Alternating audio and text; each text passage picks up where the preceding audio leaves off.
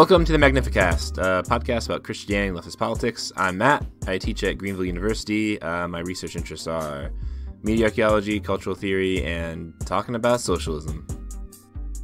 I'm Dean. I'm a Catholic PhD student at the Institute for Christian Studies in Toronto, where I work on media theory and politics and religion and uh, all, all the good, good stuff. This week on the show, we're talking to Michael Jimenez about his book, Remembering Lived Lives, uh, a really neat book about uh, Christianity, decolonial theory, and uh, what is to be done about all those things. um, anyways, it's a really neat book. It's on Wipf and Stock. Go check it out. Um, 10 out of 10 would suggest. It's uh, pretty neat. So if you're playing the Magnificast home game, pause this episode now and wait three or six days before this book can get to you. uh, anyways, it's really cool. Uh, I can't stress that enough. It's a it's a great book. Uh, if you're a person who likes theology and uh, you think you might like decolonial theory, but you aren't sure, this is a book that you can pick up and uh, you can really get into it. It's a really helpful introduction to a lot of the uh, big ideas regarding decolonial theory and theology. Yeah.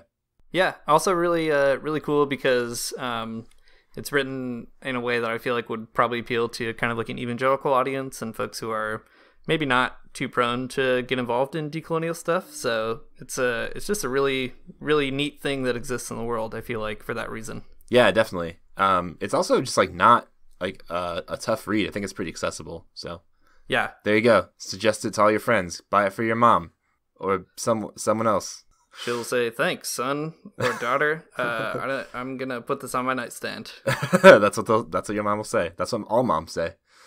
Um, cool. Before we get that far though um, we uh, we don't have any itunes reviews to read but we got our very first ever um, physical piece of mail for the magnificast this week and that is the strangest thing to have ever happened to me. I went to my mailbox opened it up and there's a letter addressed to the magnificast. So Historic event. Historic event. Um, we're gonna put this in the archives, so in the future, when someone's writing a uh, research paper about the Magnificast, they'll have this to sort of refer back to. Yeah, it'll be in the the Magnificast time capsule. Uh, we'll we'll bury it somewhere cool, along with uh, a button and a a T-shirt that we forgot to mail out.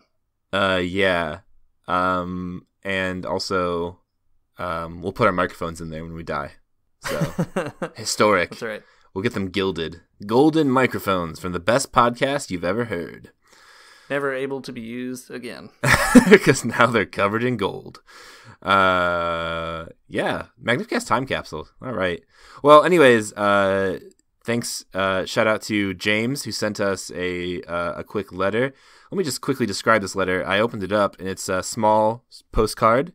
Uh, on the front of the postcard is a uh, a wonderful illustration of a beautiful red fox, uh, my favorite of all animals.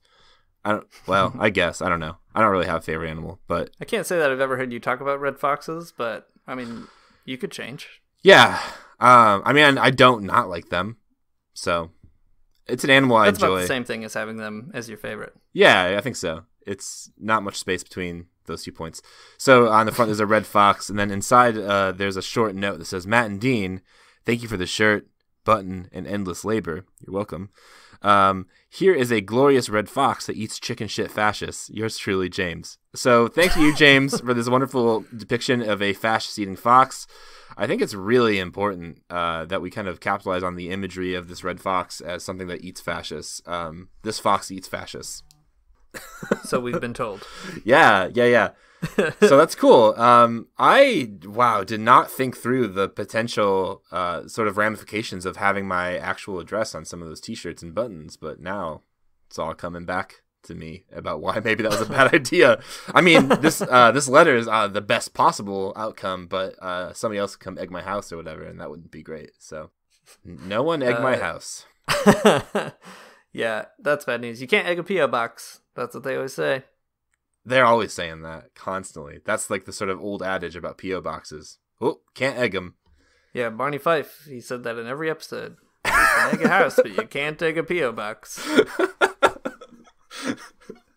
oh man, yeah, I think I remember that episode. Uh, all of them, all of the episodes of uh, Andy Griffith Show. Yeah, Andy Griffith Show. Yeah. Ugh, love that yeah, Barney I Fife. So. all right, well, let's get into cool. it with Michael.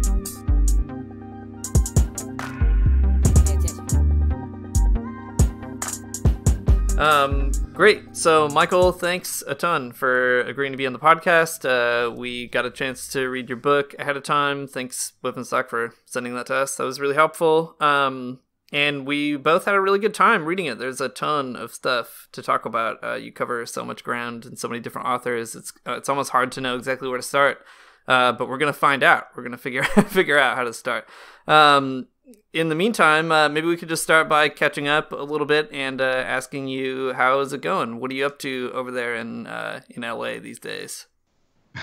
um, yeah, things are going great. Uh, weather's weather's awesome right now, and um, I've been pretty busy. Just uh, I got this uh, um, piece on Che I'm doing for the Western Region AR. So I've been researching that, looking at at um, the way he's used as a kind of a Christological icon um, in like a lot of different areas. So at first it was all like Latin American stuff I was looking at, but now I've been um, looking at like people like Norman Mailer and how they they saw him in Castro. So it's you know looking more at the American context because you know, Cold War dynamic where it's like you're either you're communist, you're bad, and if you're not, you're good. And that that kind of uh, you know became that framework. So I've been looking at that, and I got a piece with uh, Sojourners magazine I'm writing about um, myself and my dad. So I've been working on that kind of little popular piece. I don't, you know, haven't really done before, so it's kind of experimental. Um, but yeah, so that's that's basically yeah, kind of the stuff that flo- kind of flowed out of the book, honestly. Nice. That's awesome. That sounds great. I really want to read what you have to say about Che. That's awesome. I'm so excited to even think about that. yeah, it's, it was really weird. like I uh, and a lot of it was in like uh, you know Chicano literature and and uh, Latin American like cultural uh, literature. It was like what was really weird about it was it was like right after he died, they're already talking about him as like a Christ figure and and like poems and odes to him you know, that's, that's just to me. It just seems weird that somebody can catch the uh, the um the imagination of artists across the world. You know, especially you know some like guerrilla fighter from you know Argentina who pops up in Cuba. You know, it's it's it's a it's a, the whole chain thing. Such a weird phenomenon. yeah, yeah, for sure. Uh, well, we'll be on the lookout for that 100%. yeah, for real. Um, yeah, Matt, what have you been up to in Southern Illinois? Yeah, it's uh cold as hell here. It's freezing. It's the worst. Um, it's not like LA whatsoever. uh, so I've been freezing my butt off. Uh, it was my son's birthday really recently, so uh, we've been uh, giving him presents and eating cake. A lot of that going on. um, had a really cool class this morning where uh, my students are making some podcasts and uh, super excited about those. Um, it's, it's really uh, it's funny like i don't know i'm teaching my students how to make podcasts based on like my experience making podcasts and it turns out they're all better at it than i am so uh, that's cool uh, it's really awesome seeing your students succeed doing things so it's fun yeah that's what do you great. have to dean uh, well, they're also bad. I hate to break it to you, Matt, but um, it's worse here, and you're you're coming. So sorry if you think Southern Illinois is bad. Uh, Ontario is not friendly. Um, we actually had a, a giant uh, snow dump uh, yesterday and the day before, and apparently we're gonna have another one this weekend. But uh, I like it. I feel like winter with snow uh, makes more sense. When it's just like cold and gray, I just feel like I'm living in a like gross flashback or something, or like a bad bad movie dream or something. So it's yeah. good to have a little bit of, uh, you know, I don't know, change of scenery. So I dig that.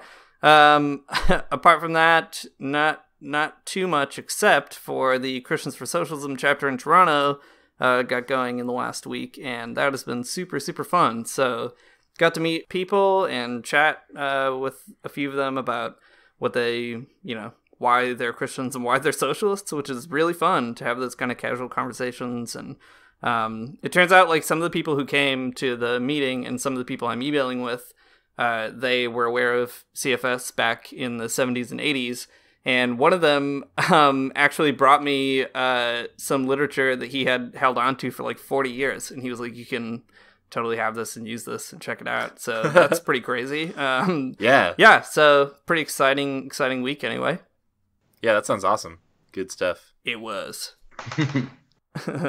Um, Cool. So warmed up a little bit. Let's uh, throw it over to you, Michael. We're gonna put you on the on the spot here and ask you to do something we usually ask our guests who have written a, an article or a book, and just give us the elevator pitch for the book. Uh, what's the impetus for you writing it? What are you trying to do with it? And uh, you know what what's it about for the uninitiated? Okay. Um. Great. Uh. Well. Um. I was like your typical like humanities major. I mean. Um where you just like to read books and didn't matter if it was theology or philosophy or fiction, nonfiction. Um, I just really uh, just like to to read a lot of stuff, and you know, then you go into to college, university, and it's like, well, if you're going to study history, you're supposed to read this stuff and write like this, or if you do theology, um, kind of the same principle. So I've I've always kind of had the interdisciplinary you know thing going. Um, even when I did uh, you know write uh, for my theology classes. So um, I you know got was going through the uh, PhD thing. Um, I was writing articles here or there, some on uh, on Zizek, a lot on Barth since my dissertation was on Karl Barth.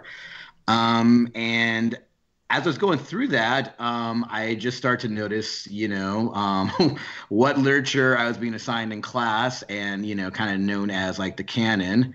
And um, being at Fuller, where they really like stress uh, the worldwide church and the diverse church and all that stuff, um, I start to slowly, um, you know, read voices outside of kind of the European canon. You know, and Barth's kind of like the the one of the kings of the canon, at least a modern one. So that um, that kind of corresponded with my own um, journey about my own identity as someone who's uh, a son from somebody from Costa Rica.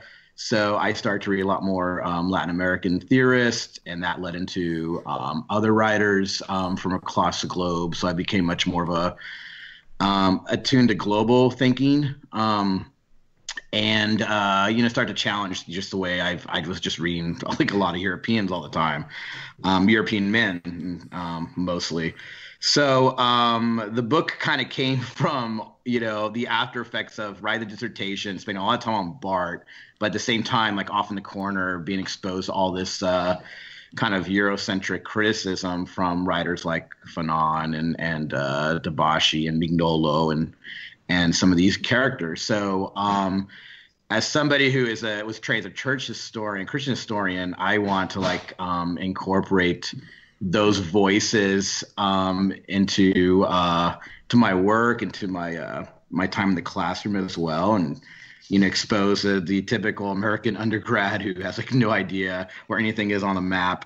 Um, to some of these uh, diverse voices, and um, in doing that, it kind of just challenged um, I felt like the way Christian history oftentimes seems real clean, or it, it kind of sweeps under the rug some of the nasty nastiness of uh, the past, the present, and probably the future. But um, also that within the Christian uh, tradition itself, it, it, has so many of these voices already um, that have been, you know, um, prophetic. I guess you could use that term. You know, somebody like Dr. King.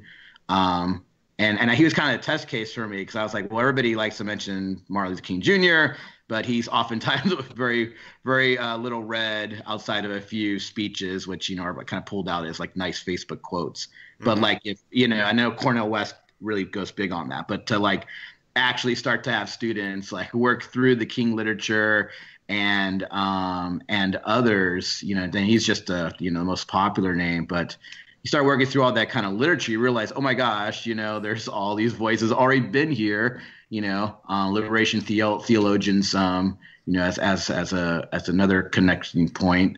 So they're all here, but for some reason, um, we often, as students, aren't aren't uh, we don't read them, or at least aren't being assigned them. I know there's it's changing, and people have been doing this already within um, the seminaries and academy, but uh, my book is just kind of more or less it's a little autobiographical to kind of show how I kind of um, start to to read people like uh, Dussel and Mignolo and and those kind of figures to kind of like that. Oh wow, you know we're really Eurocentric here. So yeah, that's that's kind of the the basis of it. Yeah, that's really cool. Um, I appreciate that that explanation. It kind of helps contextualize a little bit more about why you start the book off with Barth too. So that's cool. yeah, yeah, that's um, that's that's probably like the least favorite chapter. I know that's the one my wife like. Well, I want to read your book, and she's like, I, I don't know about this part stuff. just, like it ceased at that point. yeah. Anyway. Um, well, that's a really uh, a cool, helpful sort of interdisciplinary note then too on history and theology. Um, you uh, you say that uh, in the book that you, you, want this to be sort of a conversation between those two fields of history and theology. Uh, what do you think these two disciplines can learn from each other, and like how do they complement or maybe not complement each other? How, what's your perspective on that? Hmm. Um. Well, I think like when it, it's what I notice is that theologians sometimes theologians could be really good historians, and I found like you know I know the term is contextual theologies. I don't really like using that term I mean, I know it's cliche. Every, every theology is contextualist, you know, gets thrown out there, but it's it's kind of true. It's the label that you know, basically, if you weren't European and a dude, all of a sudden your theology is contextual, like after the '60s, yeah, up to today. And you know, I you know, and I try to do this in the book. I, I go through a lot of different um, of the a lot of these theologies and go like, oh my gosh, all these people are so attuned to history. They all write from a space, you know, particular time and space. They're all paying attention to like their history, whether they're Native American or whether they're um, Korean or whether they're you know a Palestinian. You know, they're they're really trying to like build their theology off of uh, a really good um, understanding of history. So they're doing theology from a place, which again connects really well to um, what liberation theology uh, theologians were doing. Um, so theologians would be really good historians. So that kind of taught me that, and, and I try to trace some of that and and then you know encourage you know theologians in general like hey you know you, you might be writing from europe or united states and you know um, you're writing from space you're not writing from this abstract you know um, um, you know up in the clouds you know you know um, like you know uh, uh, you know, imitating Thomas Aquinas or something, but you're you're you know pay attention to your own history and you know the history of the United States or or the Cold War, whatever, when you're doing theology. So I tried to use, um, I, I, guess the, the, the theologians doing history taught me like, oh, you can you can do this. So on the flip side of that, um, I found that historians aren't very good about talking about religion in general and theology, mm. you know, as well. And so they kind of pretend it just kind of went away with the Enlightenment. So I've been kind of challenging that whole secular paradigm um, um, I know figures like Anajar um, was was helpful for me to kind of say like, well, you know, secularism is just kind of a code word for like, you know, this kind of Christians, uh, you know, another form like rational Christianity that that moved into the whole um, 19th um, century imperialism, colonialism, and up into you know Cold War dynamics. So, I you know I I get that whole idea that that theology is oftentimes there even within like American exceptionalism after the war. So I it's it's an advocate I'm also trying to advocate to historians like, you know, come on, theologians actually say some really bright things. And you know, one of the things that that that I I really I paid attention to was you know, uh, historians will have a hard time like using Heidegger or even Nietzsche or somebody like that um, when they're doing history.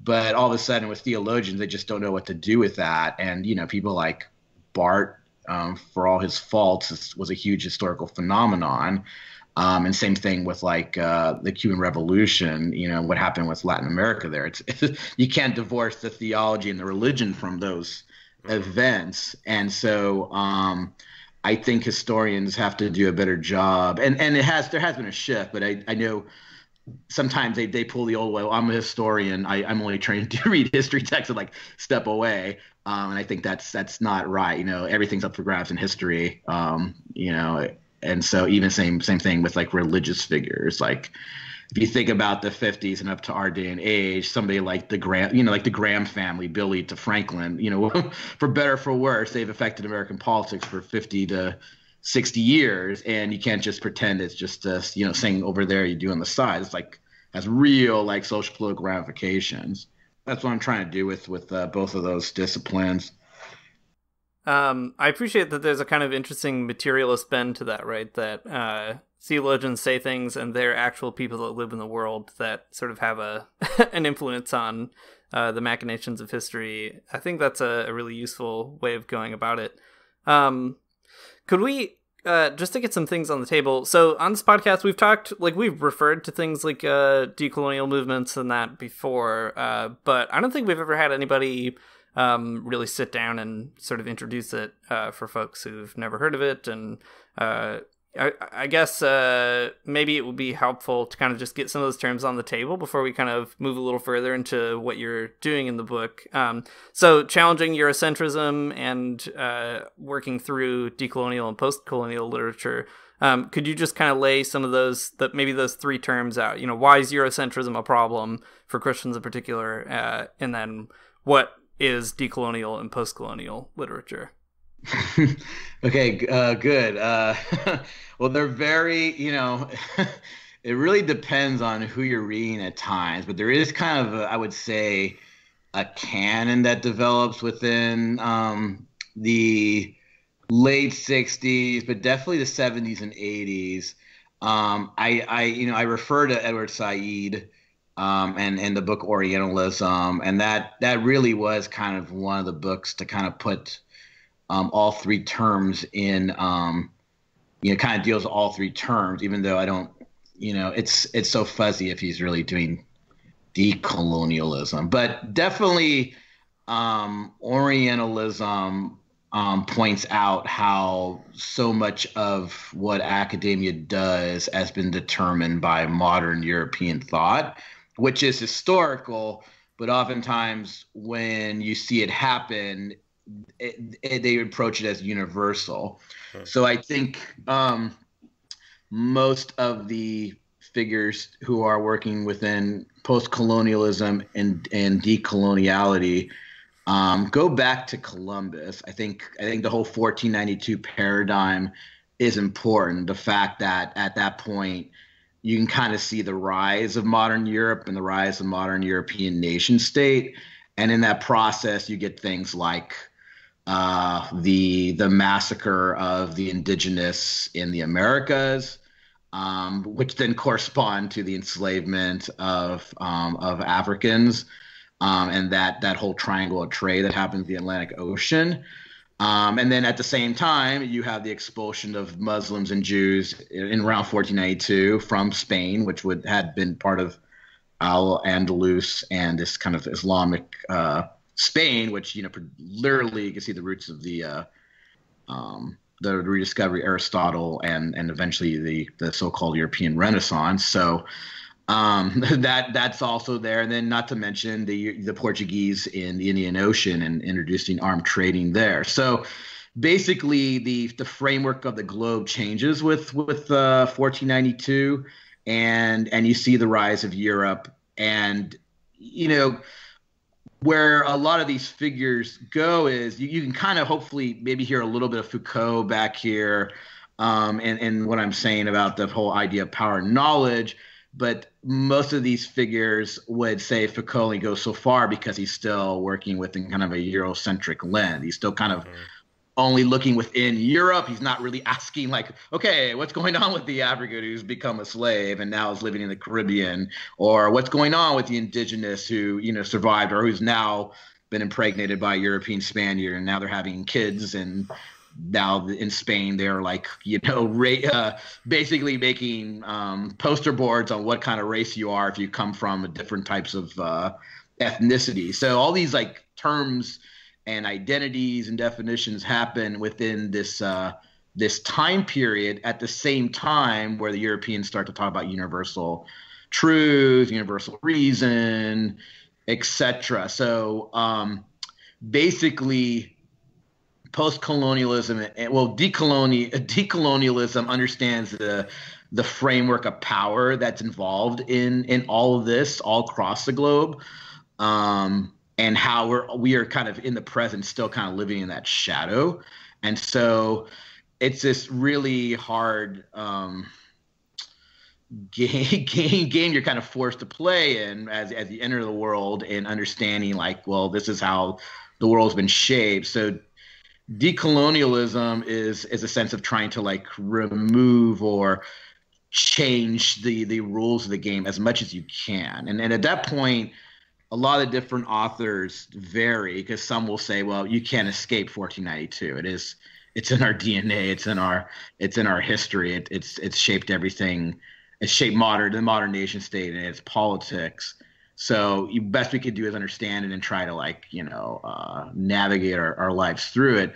Others, you know, you have movements that are going to be like, well, we're trying to get to the pre-European conquest to like you know what you know what like Aztlan is is in uh, in like Latin in in in, in some kind of like um, you know more. Uh, oh, um, certain like Chicano theory, for example, where it's like, well, we can try to get to this this pre-European time. So there's there's movements what I would call like movements of purity. They're trying to get back to the the the time before the Europeans came. Um, so it, it's it's a kind of complex term. I know like historically speaking, um, in the 50s, 60s, and, and you know further, a lot of like previous uh, colonized states were going through uh, decolonialism. So I think that's oftentimes where it's tough to deal with the theoretical side of it, where you you get, you know, uh, thinkers like Walter Mignolo who are, are talking about decolonial decolonialism as a theory, and then you have the actual historical like, you know, these independence movements happening in Africa where they're trying to like, okay, get out here, get the Belgians out of here, get the British out of here, and and then try to like you know create a new uh, form and system and you know that's that's been uh, hit and miss for, for, you know in the actual real historical uh, um, times. So. Um, so that's you know I, I mean I'm going too long here, but that's where uh, I think the Eurocentrism comes in. Is once you understand that the world had been colonized by Europeans and you know you're like living in in uh, Algeria, you're not learning your history, you're learning French history and the French language, um, once you realize that's the situation and you move for independence and, and, try to create a new, now you're kind of moving into you're trying. Then you, that's where you're navig- you're negotiating. You know how post-colonial you can be now.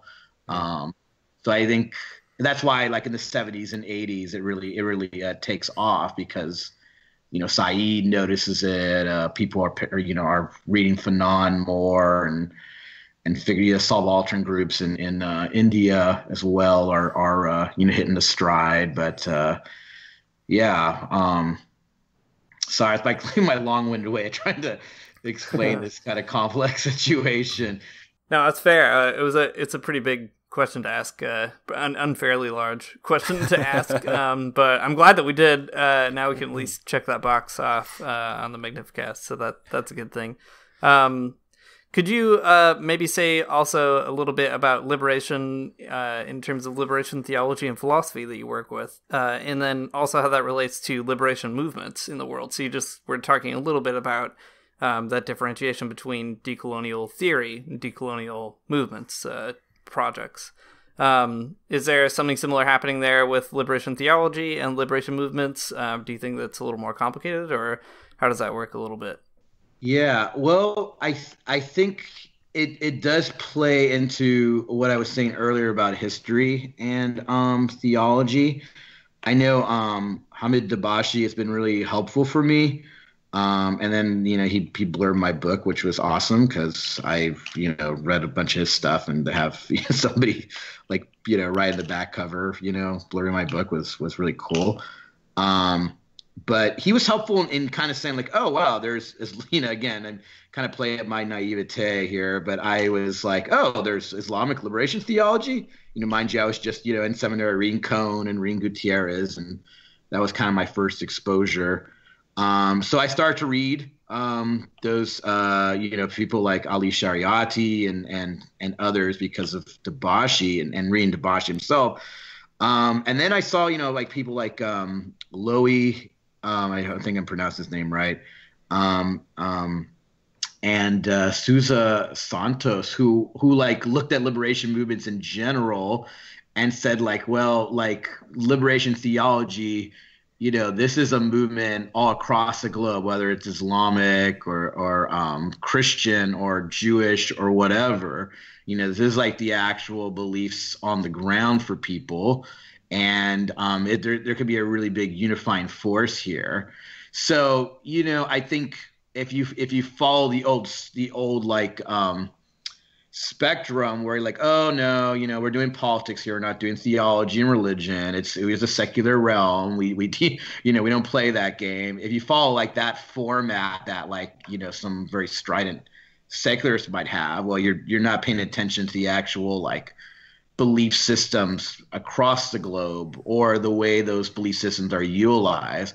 So I think a lot has changed, at least within scholarship and even within um, you know these various theories they all of a sudden they don't you know they they don't want to puke when you know they see the word theology on the page or they see that you know oh wow Malcolm X is actually a Muslim you know where you know it's a what a novel idea and and actually think like that really mattered the way he's thinking about society and politics and not trying to divorce the two so I think liber- I think the idea of liberation theology you know, obviously it was a historical moment, but I, I feel like more and more theorists outside of like actual theo- theological schools are paying attention to it as a as a um, a system of thought. You know, Enrique Dussel is is probably the master at this. At least he was for me to kind of um, take this seriously, look throughout big swabs of history, and understand how there's been these kind of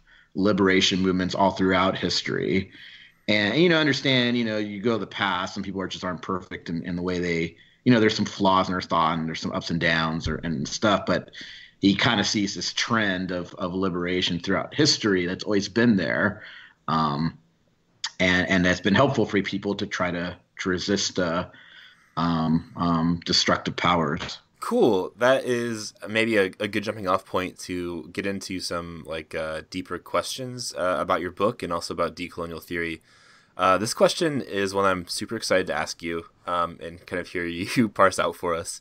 so, uh, uh, so like in, in your book, you make like a pretty interesting break with some decolonial thinkers, um, especially Walter Mignolo. At least in my mm-hmm. experience mm-hmm. in reading him, uh, I'm not super well read in Mignolo, but I've read a little bit. So, anyways, this was interesting to me.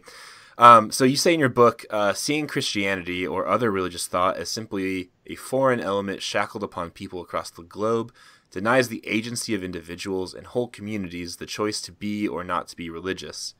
Um, to me, this is like an interesting quote because um, in Mignolo and sometimes in other decolonial theorists, they they recognize the uh, European origins of religion as being like over determining um, the agency of people, and like what you say here is exactly the opposite. So there's kind of a break.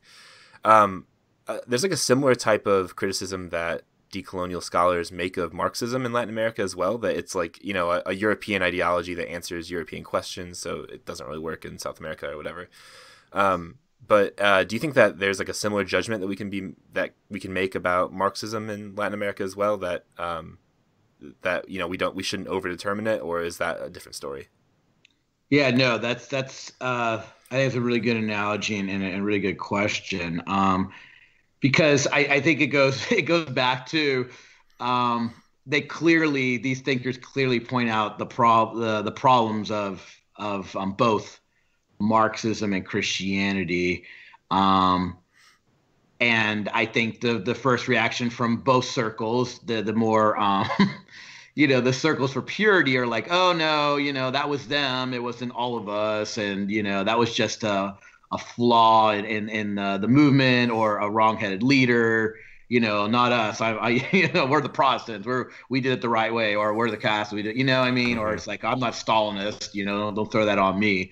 So I think um, there is this kind of knee jerk reaction to like to, to to say, well, it wasn't our camp. It was somebody. It was the uh, fringe element or the heterodox of our camp that did it. Mm-hmm. And so I don't I don't yeah. So I don't really want to. I don't want to make that that leap because I think I think this is you know it's it's important to understand like the potential in in these movements obviously in both christianity and marxism is to is to do awful things. There's always that potential history has shown that. Yeah. Um, you know like and like any any ism there's always a way you know kind of a probably a dark side to it. Um, I do think we have seen that uh, people can do both, where they can be Christian or they can be Marxist or they could be Muslim and still um, work for liberation. I mean, again, you know, you can use Dr. King, you can use Cornel West, um, and others uh, who who have been, um, you know, have utilized the thought, who didn't sweep the bad stuff under the rug. And I think a lot of sense they understand if you again if you look at the, the um, various people across the globe, you know, religion is still something very powerful to them, and you know, and so they are speaking to the crowd, and they don't feel like it's something they just have to completely erase because they know better. I, I always feel like there's certain elements again in like. Uh, I feel like the movement to purity, like, oh, it's all bad, let's throw the baby out with the bathwater, leads to almost like a. I mean, I went. It, it's not a one-to-one correlation, but it's almost new atheist style, like, oh, religion's just bad, period. And so you you start with that that um, presupposition, and there's just they they give they don't give an inch about anything, and I think one of the good things about history, I mean, it's it can be really revealing how messy everything is and how mixed up all our belief systems are anyway and just how much you know our our our isms crisscross with other thought and have origins in other thought mm-hmm. um and uh and so you know like i said i i enjoy someone like mignolo uh, but I always I I tend to be a little bit more closer to Dussel and trying to like salvage what mm-hmm. is of use in both traditions, whether it's uh, uh, Marxist thought or Christian thought. I think there's elements there that's salvageable, and and you know, again, like Cornel West is, a, is another good example of somebody trying to like. aggressively think through the problematic areas of it and i think that's really helpful uh, i guess the reason it makes um, the, the reason i was so excited when i read that bit in you uh, in your book was was just because uh, whenever I see I, like when we when we look into sort of history or we, we read the sort of documents that come out of these movements, whether they are Marxist or Christian, uh, we see a certain like plasticity to these traditions that are supposed to be like hard, rigid isms, right? Like mm-hmm. um, we we see them sort of adopted in different ways or uh, deployed in different ways. Um, uh, the examples I always think to are about like are about Che's campaigns in uh, in South America and in Cuba. Um, mm-hmm. Mm-hmm. Like, uh, you know, it's, it's not like the, the Communist Party wasn't always on their side. Like they were, the Communist Party wasn't always on the side of the guerrillas, and uh, mm-hmm. they but they did something you know more. It's it's like um, Marxism needed, I guess, the sort of uh, the the rooting and sort of a different way of thinking, even to be deployed in in a place like Cuba or, or somewhere. You know. Mm-hmm. Mm-hmm. Yeah, no, definitely. Um, yeah, and it's like I think when you you boil down to it, you see the you see the struggles that are going on um, behind the scenes, uh, and and the way um, you know some people make decisions, and you know one group says, "Oh, you sold out," and the other one says, "No, you know it's it's practical. You got to survive." So, mm. you know, it it uh it, it kind of um yeah again the history is a lot more messy than um yeah. than than you know the theories behind um behind uh you know the big speeches and and the you know the big the big books that are produced there. Hmm. but um i don't know. I i guess i've I've always been kind of anti purity when it comes to, you know, um, thought forms in a sense of like, and even like, you know, because a lot of like biographies and uh, are written about you know people I like in history, but I'm like this is this is this this saintliness that's been kind of the halo put around this figure. It's like it's not real. There's actually more interesting when you you see the good, the bad, and the human being because it's like well, it's kind of like the average Joe I know down the street. Like we're all kind of a mixed bag of of a mess. So you know, better be honest about it than than this like oh no, you know, this figure he's he's just a great hero and he does nothing wrong and mm. you know totally faithful to the movement and he didn't sell out, blah blah. I mean, it's that just doesn't. That's actually not very interesting to me. I think. Yeah, you talk a lot about biography as theology in the book, and I think that's a really interesting way to kind of come at some of these problems. Uh, a couple episodes we had this conversation with Marika Rose, where we were talking about Christianity's complicity um, in colonizing the world and creating a racialized world of white supremacy, and it's interesting to see people wrestling through how to deal with that, especially as being part of uh, a Christian community. Her response was you know, well, you just kind of have to affirm that that's all part of what it means to be a Christian is to kind of own that. And it sort of seems like you're doing something like that as well. But I like this biography as as theology, um, you know, telling the stories of individuals in their contexts and kind of getting down into these kind of uh, micro stories that also help us kind of own those histories. Could you say a little bit about, uh, you know, what biographies as theologies do you think are especially useful for decolonizing Christianity, and especially maybe uh, American Christianity. Okay, yeah, no, um, I uh, that uh, piece was written by James McClendon, who actually ended up at Fuller. I mean, he was long gone before I uh, showed up there, but um, that that kind of just appealed to my whole sense of like the humanities again. About oh, I can do history and theology together. I, I just liked the idea. Um, the problem I had was um, it's something I know that I've, I've seen on the social media sites. It's like we have so little, like evangelicals especially, but like Christian Gerald has so little imagination, so little knowledge about history, so that you know things are going crazy right now in the U.S. and everybody's asking, "Oh my God, where, where's the next Bonhoeffer? Where, where's the next Bonhoeffer moment?" And I'm like, come on, like really? That's the only guy you can like pull out. It's like him, or you know, how can we like think wartime like C.S. Lewis? Like it's, I think it's boiled down to like those guys. And like there's this whole group of, of people um, that we can appeal to um, and learn their stories. You know, I in the book, I mentioned some of uh, people like Ignacio Ellacuría, you know, who like got assassinated by the, the Salvadorian junta in the middle of the night, along with uh, a bunch of other people. I mean, it was just brutal. Um, I mean, so you have people like that. I mean, that's just one person I mentioned who's like, it totally inspired me. Um, you know, that, that again, kind of like moves away from just picking out the, the cool, popular, you know, theologian um, that that just seems to be the knee jerk things like oh our Bonhoeffer. Um, so I I like the idea because it, it tries to get us to look at figures that that don't just get enough attention. Um, you know, it's a book I I'm just starting to read where they they mention you know figures like uh, Abraham Heschel or for me somebody a couple of people I want to read more is about the the Berrigan brothers. Um, you know, your average Christian has no idea, and mm-hmm. it's crazy because you know you read about it. it. Looks like it was pretty sensationalized when it happened in the late '60s, early '70s, and today like nobody has a clue. Everybody's like, "Oh, where's where's our Bonhoeffer? Where's our Bonhoeffer?" And I don't know. To me, it seems like somebody like uh, Father Berrigan would be a better someone to appeal to, or Fannie Lou Hamer.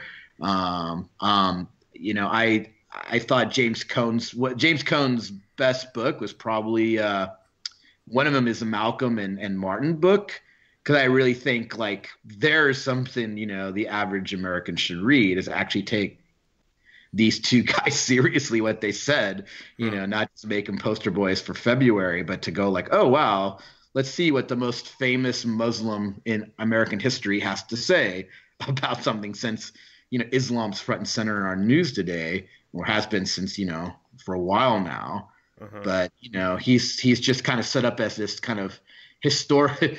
You know, in in the average American eyes, he's just this kind of foil that that's abstract foil to talk about Martin and and and peace and and and reconciliation. And I think uh, when you actually read the story of both figures, the good and the bad of both, you know, again, you flesh out real people that we can actually learn from and understand like live theology in a really in really tough times in, in historical times.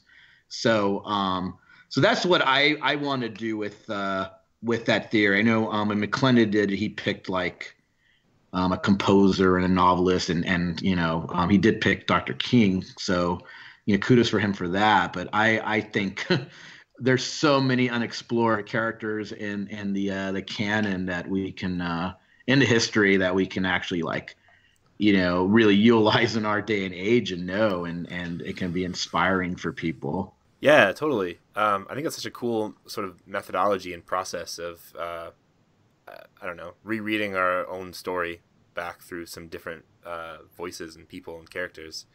Um, you mentioned this in your book, and you've also mentioned it sort of at the top of the episode too uh, about your own sort of autobiography as a motivator for a lot of your research.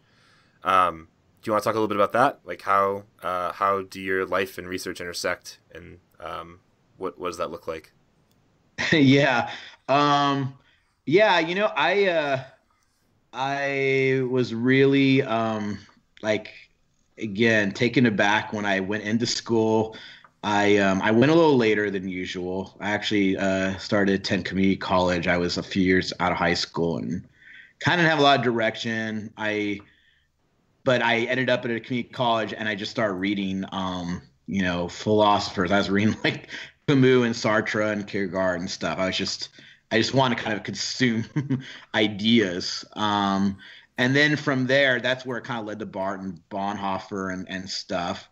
And then, you know, it, it was the autobiography thing where it's like, wow, you know, I've, you know, this this I, identity and my my dad's whole upbringing, which was rough, and I'm going to write about it in that that cylinder piece I was talking about. But I, uh, I, I kind of want to know my own community in the sense of like you know grow up in LA and and you know um uh you know having a dad who's Costa Rican and having most people not know what the heck Costa Rica is throughout my life so I I start to want to uh you know read this other literature and and um and, you know apart from like oh you know I have to read it because I have this Latin Latino identity more of it was I just started to enjoy it it was just you know, just like the time when I was an undergrad and, you know, reading Sartre and, and community college for fun, I was doing the same thing with, uh, you know, Latin American literature, Latin American philosophy, and just Latin American history in general.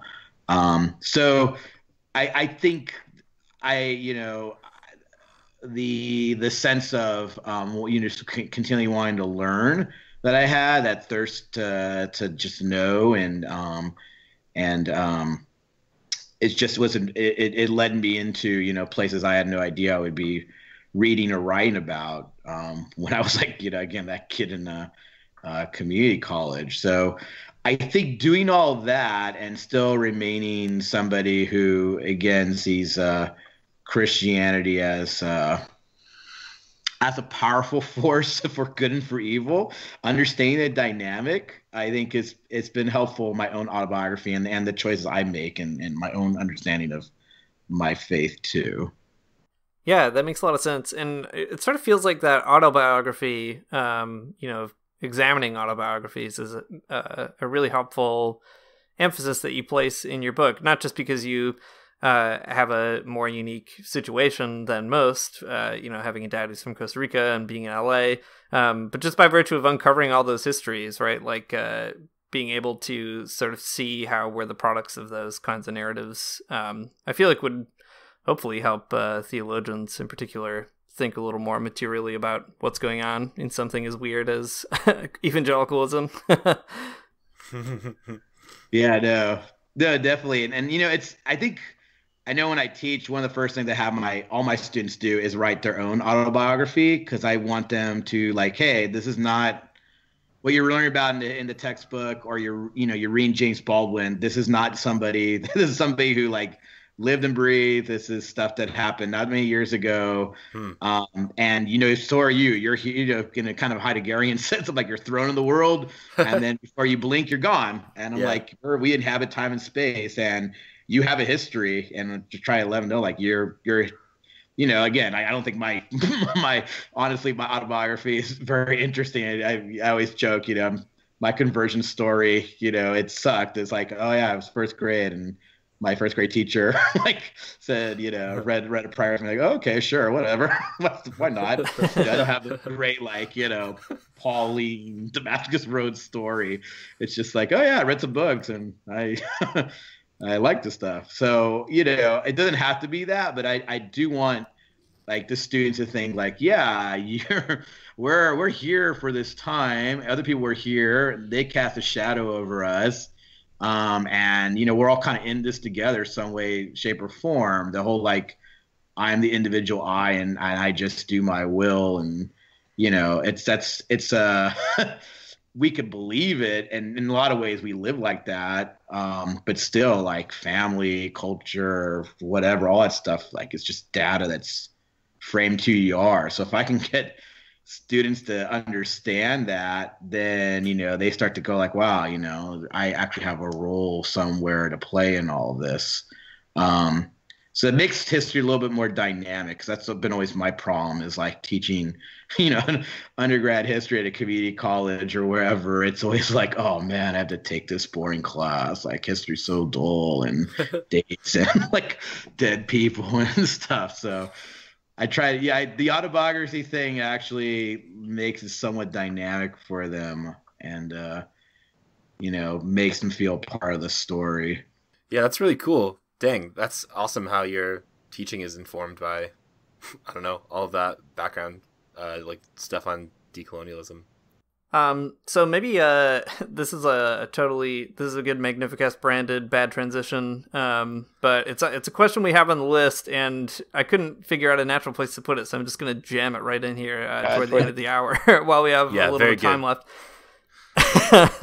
um, so one of the things we talked to Marika about uh, in a, a, couple episodes ago was the role that um, Slavoj Žižek, the Marxist philosopher, has in in her work and she has a kind of complicated critical relationship to him um, by virtue of his own Eurocentrism, uh, but she's also found a lot of a lot of use for him, and uh, that comes up uh, quite extensively in your book as well. And I know that you've done some other work on on Zizek in the past. You mentioned him even in this podcast, so uh, maybe you could just say a little bit about that. I mean, why do you think Zizek has been important to you? Um, why do you think he's important to so many?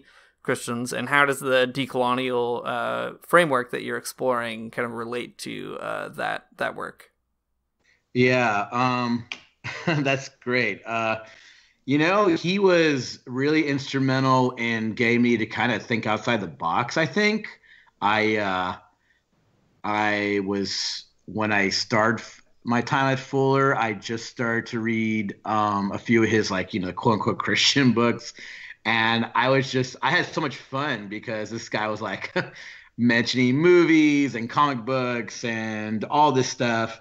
And you know he was speaking my language in some way. On the other hand you know all this lacanian stuff. I was like i had no clue what you're talking about. So i probably spent more time trying to decipher that and read books on lacan just to understand zizek than i probably should have done. But i uh I really ate it up. It was it was really um, exciting to me, and I I used to listen to you know I was was actually working at this little aerospace shop, like just buying materials, and I would just sit there with um, the YouTube videos going with him in all these different speeches. You know, it's his famous you know talks. Um, and I have to say, like the guy is is a master marketer. I mean, like who could sell like the same book a million times over, where he just basically like like co- copies and pastes like 90% of the book and like here you go like like a dummy like me, I have like 30 of his books on my shelf. They're just sitting there now. I'm like, dude, you're saying the same thing over and over at each book. Like, that's amazing. but um, you know, um, then it got the point, and I know this this happened to a lot of people. it got the point where he really like I started to uncover, or not really uncover, but it was just kind of thrown in your face, like oh, when he's trying to redeem Christianity, there's it's definitely like uh, an, a kind of appeal to kind of Western centric, Eurocentric thinking. And I think one of the things I, I thought kind of showed the the um, you could kind of see that was just the way he never really engaged any kind of like liberation theology. So for like a you know carrying Marxist, he never really goes there. Yeah. I mean, he'd rather quote Chesterton. So okay, you know, and I get it. It's the whole like you know subverting you know Chesterton, but still, it's like if if you're going to be kind of consistent with that, why not? And they call him out on it. Nelson and Maldonado Torres like calls him out on on that point. And then um, Mignolo and Dabashi, you know, kind of a famous, uh, um, you know, go, you know, they they kind of take Zizek to task, and Zizek just basically dismisses them as like, ah, you know, I don't, I don't need to. Why am I going to read that stuff? So that was kind of eye opening to me, just the way he even handled once, you know, against once the thinkers from across the globe are like, hey, you're you're really Eurocentric. He's kind of like, yeah, so you know, I don't care, and why I want to read some random, you know, person from a you know quote unquote third world. Is he almost almost feels like he puts it that way. So I'm like, yeah, you know, you, you've kind of you've kind of, I feel like history has kind of moved past him at this point.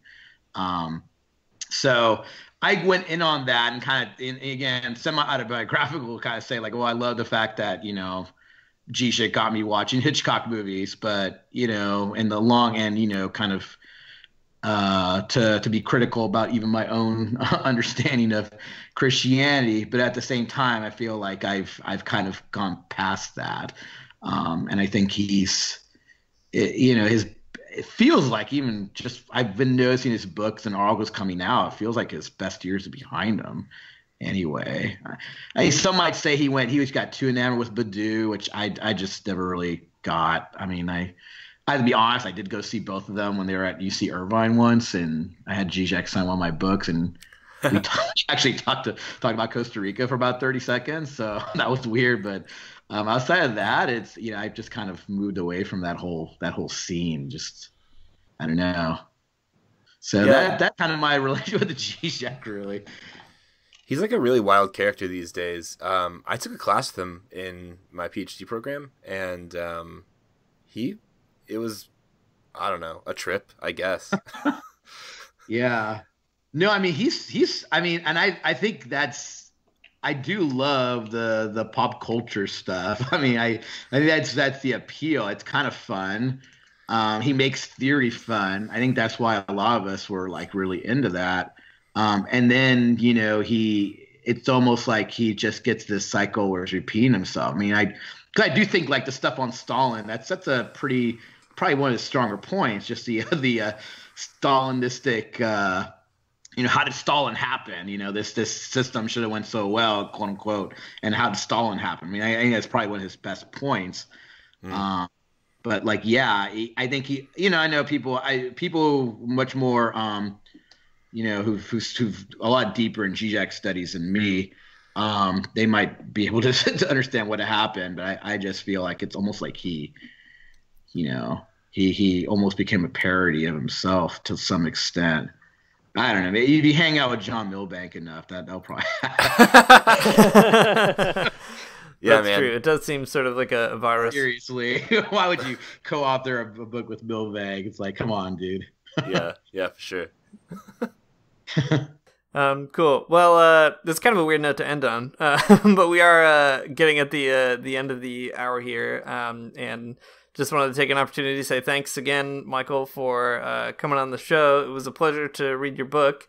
Um, I hope that other people kind of check it out and pick it up. I think, I mean, there's so many good things to say about it, but uh, one of the coolest things I thought was that it's actually extremely non-threatening and uh, like very accessible and very good at introducing a lot of themes that are probably um, not only hard to to understand but also hard to just work through. Once you have understood them they're kind of hard to deal with like the fallout of them. And uh, i think you you provide a good maybe pastoral approach to to dipping someone's toes into that kind of literature. So um, yeah hopefully more christian historians uh, christians interested in history historians interested in christianity etc will uh, will find the time to check it out for sure well, great. Well, thanks. I appreciate that. This, this has been fun. Yeah, it really has. Thanks so much. Yeah, and let us know when you got that uh, Che article finished up. Yeah, definitely. Well, I'm I'm presenting in in uh, the end of March, so I've been working on it. So, yeah, definitely. I'll uh, I'll probably tweet it out. Yeah, that'd be cool. awesome. We'll uh, we'll retweet that for sure. Thanks for listening to the Magnificast. Thanks to Michael again for coming on the show. It was really fun. A lot to cover, a lot of ground that we uh, got through, but also lots more that's still in the book that we didn't even get a, a chance to talk about. So please go check that out for sure. Um, we'll be uh, keeping up with Michael as he keeps writing all that all that good good good good stuff. Um, other news, we uh, we've got a Twitter. Uh, that's only news if you didn't know we existed for the last almost year.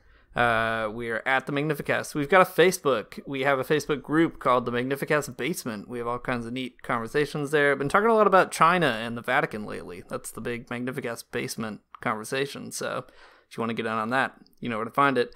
Uh, also, we've got a, a, Patreon account, so if you want to support the kind of work that we're doing, uh, you know, whatever, we don't get paid to do any of this stuff. We just do it because uh, we can't can't stop ourselves from doing it.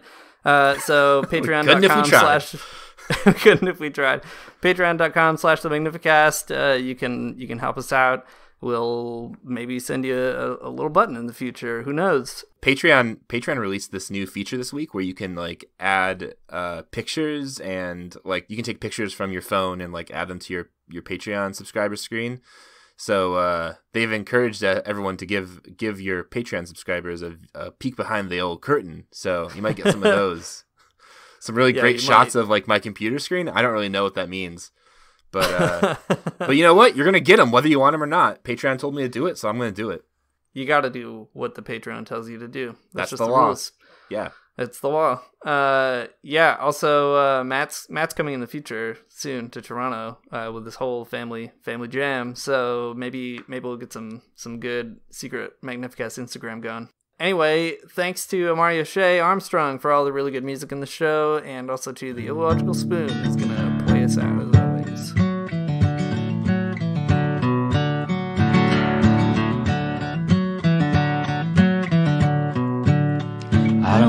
get up for church in the morning, church in the morning, souls alive. Heaven come to earth and there won't be no church. We'll meet down by the riverside. There we'll swim with all creation, never get tired, never bored. Don't worry, someday there'll be no dam between us and our Lord.